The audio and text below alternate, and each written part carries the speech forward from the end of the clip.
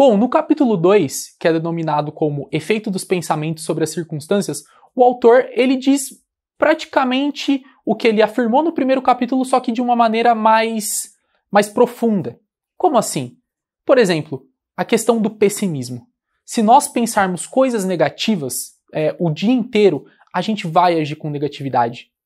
Por exemplo, nossa, como a minha vida é uma porcaria porque o ônibus para eu chegar no trabalho atrasou, aí eu tomei dura do meu chefe. Aí também quando a gente bate o pé na quina do sofá, né, que a gente quer xingar todo mundo da nossa vida, a gente reclama, reclama e a gente desaba. Em momentos tão pequenos, a gente esquece do valor das coisas.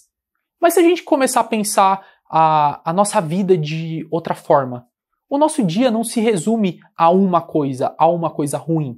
Pode acontecer uma coisa ruim nos nossos dias, é claro, mas como que você vai enxergar para isso? Então aí que tá a questão do pessimismo e do otimismo.